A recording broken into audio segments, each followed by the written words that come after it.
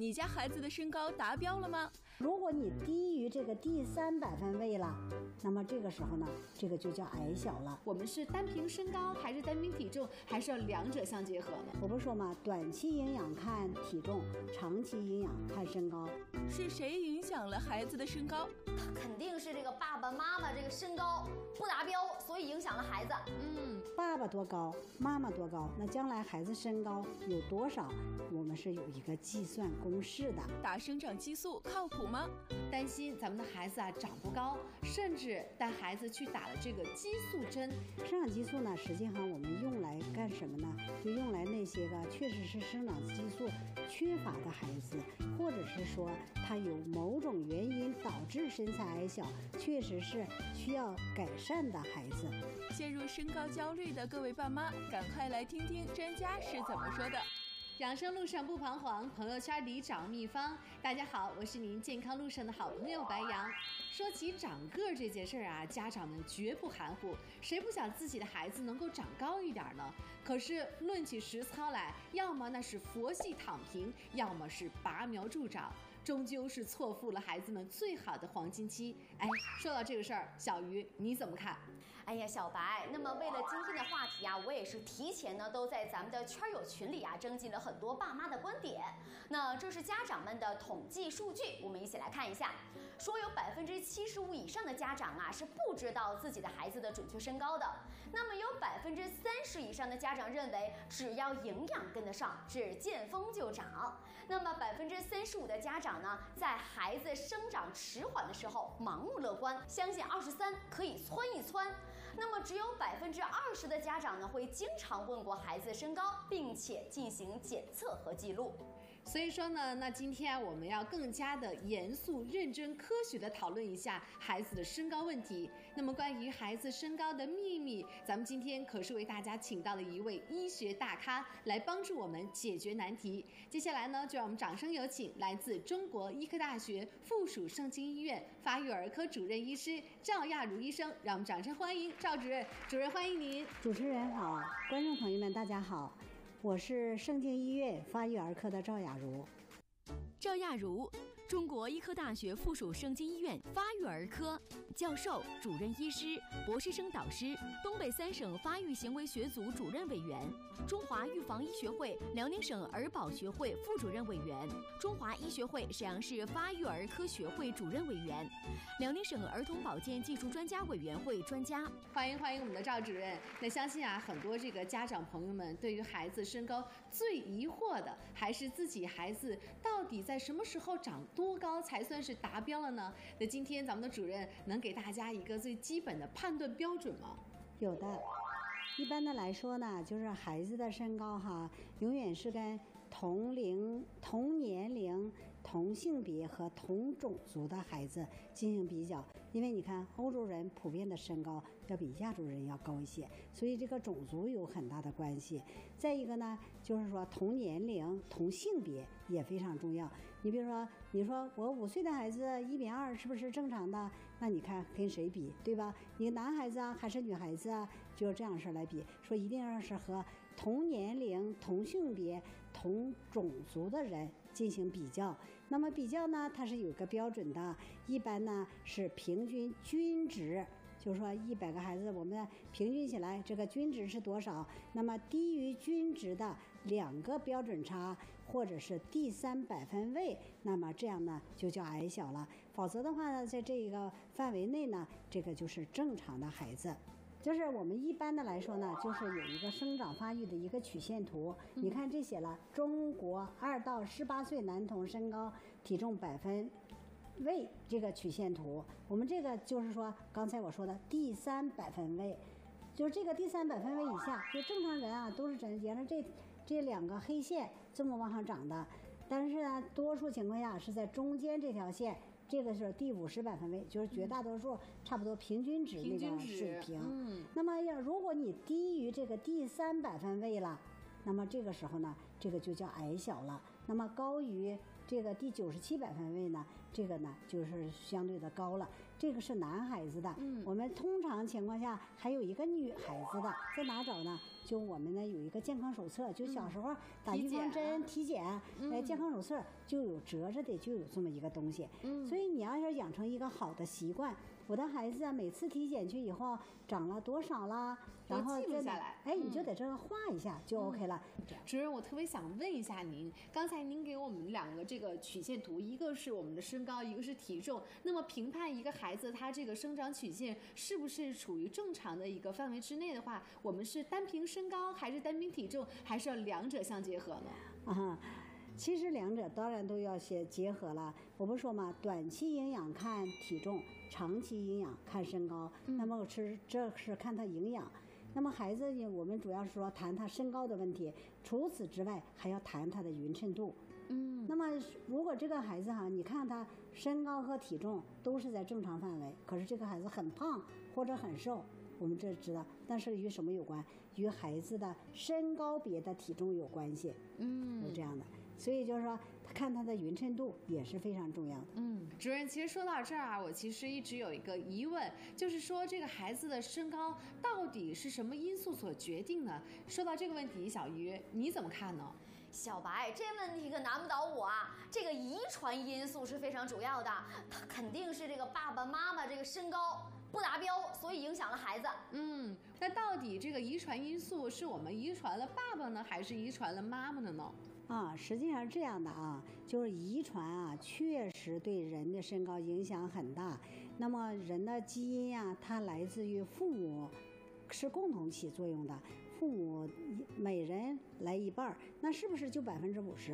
不是绝对的，每个人呢都有个体差异。有的孩子可能随妈妈多一点，有的孩子随爸爸多一点。有就像咱们说的哈，说你看爸爸妈妈的优点都被他长了。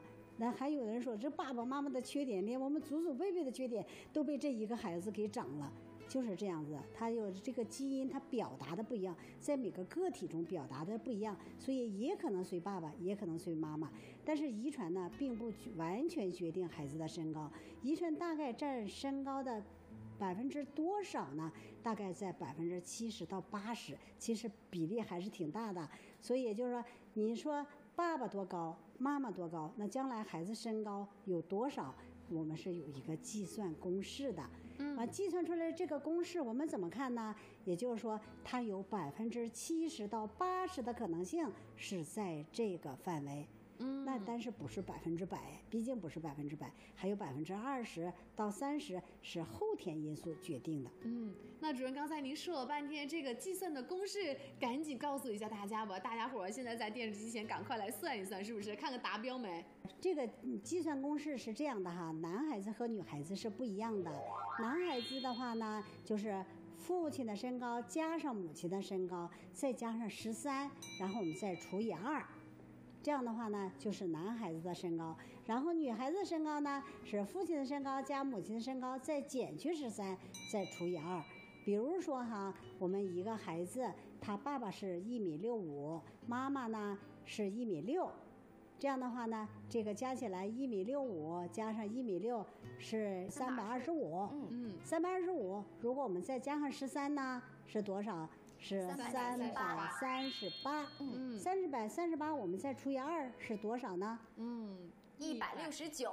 对，他的遗传身高呢是一百六十九，那他一定就是一百六十九吗？说它是有个范围的，是加减五，加减五。那么一百六十九是一米六四到一米七四之间，嗯，就是说他这个身高是一米六四到一米七四之间。那主任刚才啊，您说除了这个遗传方面的因素我们是改变不了的，那在生活当中还有哪些因素可以决定我们孩子的身高问题呢？对呀、你说的这个问题啊是非常好的一个问题。实际上，对于我们医学来说呢，我们可以做工作的就是剩下其他那一部分，也就是百分之二十左右的空间，是我们医生可以做工作的。那我们做的工作是什么？就是与哪些因素有关？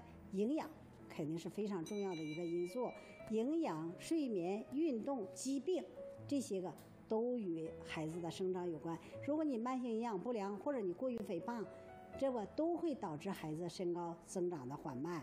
另外一个呢，呃，睡眠，睡眠少的孩子，他生长激素分泌的少，那么他就长得就慢。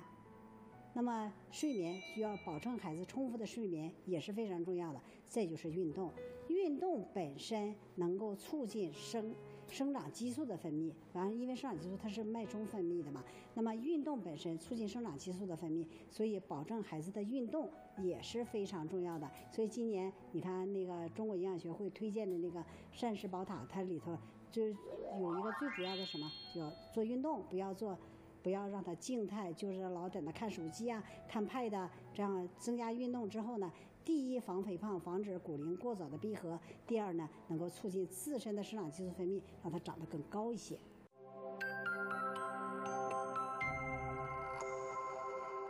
让老慢支告别咳痰喘，让哮喘慢阻肺不再反复发作。健康朋友圈联合燕都呼吸病医院，共同打造让爱呼吸公益活动。详情请咨询零二四二二八三七九九九。中医传承，匠心悠远；高真堂传承国粹，弘扬中医药文化，创新理念技术，全生命周期诊疗养一体医疗连锁，对常见病、慢、病，未病先防，预病防病。以病防错，愈后防复，一人一方，辨证施治，造福百姓，助力健康中国梦。大医精诚，良医好药方显效，熬制浩繁医人心。高真堂道地药材，秘法炮制，好医好药，好膏方。提高诊疗效果，为健康保驾护航。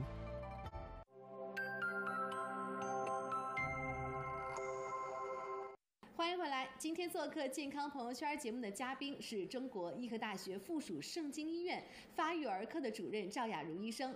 电视机前的圈友们，大家呢可以拨打我们的电话零二四二三幺八六零六五，向我们的赵主任来进行提问。同时，大家也可以扫描屏幕上方的二维码，关注辽视健康朋友会，给我们进行留言，我们都会第一时间来帮助您解决难题。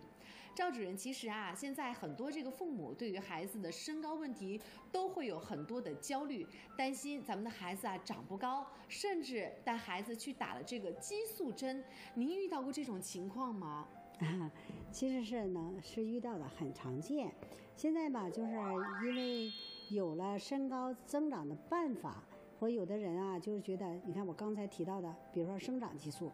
生长激素呢，实际上我们用来干什么呢？就用来那些个确实是生长激素缺乏的孩子，或者是说他有某种原因导致身材矮小，确实是需要改善的孩子，这样的话呢，才用生长激素来治疗。但是也确实有好多家长哈说，嗯，我对身高不满意。比如说我上个星期啊，我就看到一个孩子，他这个女孩啊，已经一米五八了，实际挺高的。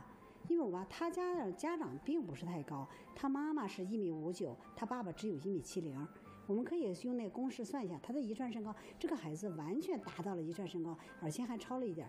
他说，竟然追求的是什么？说我的孩子哈，我想让这个女孩长到一米七，这个就是完全为了改善身高而用生长激素，超出了生长激素使用的适应症。嗯，就是这样的，这有点。有点滥用啊。嗯，主任，那今天您能不能给咱们电视机前这些宝爸宝妈们明确一下，到底在什么样的情况下，说明咱们的孩子可能去需要进行医院进行检查一下呢？第一个呢，就是说这个孩子哈，确实长得慢了，就像我们刚才说的那个孩子，你看他矮吗？他不矮，但是他长得慢，他生长缓慢，就是年生长速率不足了。那他一定是有原因的，他不会无缘无故长得慢呀。那么长得慢了，即使他不矮，也需要上医院去做检查，看看到底什么原因导致孩子长得慢。别等着落了很多，到需要追追赶生长了，你才去用上医院。你要早点去，这样的话就很早点找到问题的原因，很快就解决了。这是第一个。第二个呢，就是说你原来没注意到，现在一看孩子确实是矮小了。怎么知道矮小？刚才我们看了，就这么一衡量，一看这个孩子确实在第三百分位以下了。这个时候一定要上医院去了，再不去就不赶趟了。因为你一般的来说，第三百分位以下，那么这个孩子至少落了七个厘米以上。那么你要落一个两三个厘米，落个三五个厘米，说实在话，你就很快，你你每个月追一个厘米，那你就经说几个月，在一年之内能追得上。那么如果你要是说落了七厘米以上，甚至十个厘米以上，那么你这个时候你再想，就是自己追赶就很难，因为啥？因为你平常就比别人长得慢，你每年都比人多少少长一个厘米。那你要现在，如果你要想比别人多长一个厘米，你落了十个厘米，那你每年多长一个厘米，你多长时间能追上来？嗯，哎，所以你就不要等着都挺远的了，完事儿落的太多了，你再去追。所以呢，就是说你要一旦发现了孩子已经到了第三百分位，那么这个时候就赶紧上医院吧。嗯，那么刚才说到这个早诊断、早治疗，那说到这种情况，我们到医院之后会对孩子进行哪些检查呢？主任？啊，这个是这样的，那我们主要还是医生啊，还要问一问这个孩子啊，到底是什么原因来的。在多数情况下，它长得慢。你比如说，从什么时候开始长得慢的？多长时间了？对不对？因为不同时间的慢性长得不良和现在这几个月长得不好。那它可能疾病也是不一样的。那么吃喝拉撒睡哪方面有问题啊？这是一些，还有没有一些反复的感染呐？有一些什么其他的相应的症状？首先问问他的症状是怎样的，然后呢，再看看这个孩子的体征。那长得匀称不匀称呢？那匀称是一种病，那他不匀称可能是另一种病。那他。匀称呢？那可能是一些什么原因？比方说生长激素的缺乏呀，或者是一些营养素的缺乏。如果他是特别胖的，那又矮的，那可能是另一种病。再一个呢，就是说他上不良和下不良不一样，就小腿特别短的，完事或者是长得奇形怪状的那个头有呀，那很可能就是一些内分泌疾病啊、遗传代谢病。就首先就医生根据临床的表现来做出一个初步的判断，他到底是哪方面的问题。哪方面问题是营养的问题、遗传的问题，还是一个疾病的问题？这样式来判断一下。再一个呢，要看看他的骨龄，对吧？就像有的孩子啊，他虽然是现在矮一点，像刚刚才说的，他虽然矮的不太多，他虽然矮一点，但他骨龄呢是落后的。但是呢，就是说又又没有查到其他的疾病，那 OK，那我们可能就等了，他可能是个晚长。那如果要是说他虽然现在不矮，他骨龄明显的超前了。那你看又有性发育或者又有其他的问题，那么这个时候也是问题，所以骨龄也是非常重要的。那剩下其他的一些检查呢，就根据你看到的孩子这个体征和问到的病史来做相应的临床检查。嗯，那我们刚刚说完了这个检查的问题了。如果说一旦出现了问题的话，真的是存在的话，那我们会进行哪种方式的治疗呢？那主要还是对因治疗，看他是什么原因来的。他营养不良来的，那他缺乏什么样的营养？完了，那你就给他补什么营养呗。比如说刚才我们说维生素 D 缺乏、钙缺乏，那这样的孩子呢，他就尤其是生命早期三岁之内的，那这种缺乏的很多。孩子维生素 D 缺乏的时候，他睡不好觉啊，牙出的也晚啊，长得也慢呀，又是螺旋腿，又是 O 型，又是 X 型腿的。这样的话，实际上你补充几个月的维生素 D，这孩子可能就窜上来了。那如果他是是，如果他是生长激素缺乏类的，那么你可能就是就用这相应的治疗，他可能就上去了。接着就说他什么原因来的，我们就针对什么原因来进行治疗。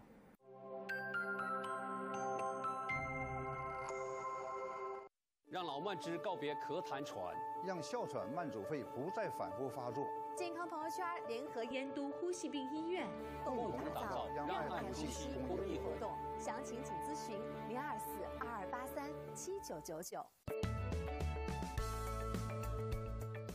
软和的硬菜，牙口不好都能嚼的筋头巴脑，它来了。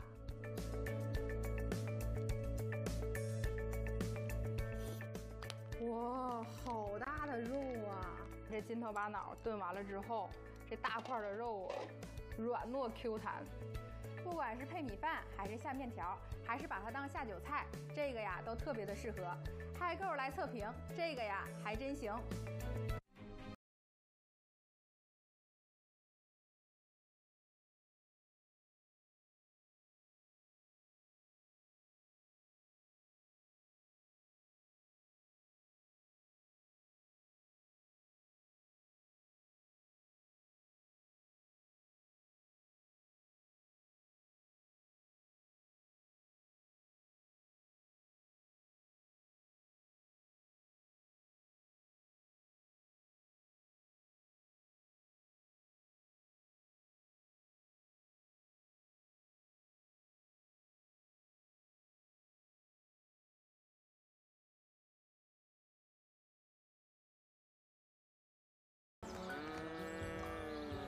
品就是要铺路，特色产业铺就精准扶贫路，颗颗藜麦堆出雪域高原的转型路，串串红枣牵起中原大地的产业路，滴滴茶油汇聚平江丘陵的脱贫路，阵阵花香绽放大同田园的致富路。迈开脚步，路在前方。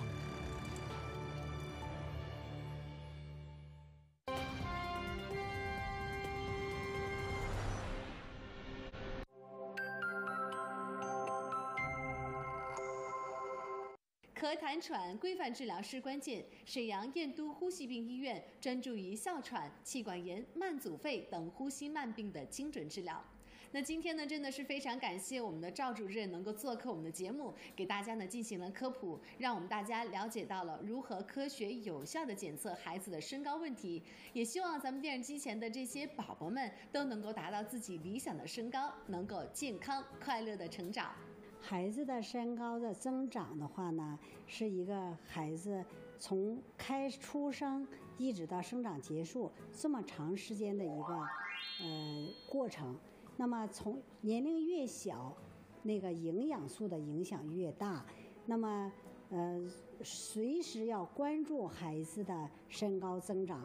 那么就是定期上医院检查，这是非常重要的。比如说，你看我们的保健标准，那么小孩子一岁之内每三个月至少要去检查一次；那么一到三岁之间的话呢，每半年要检查一次；那么三岁以后的话呢，每年呢都要检查一次。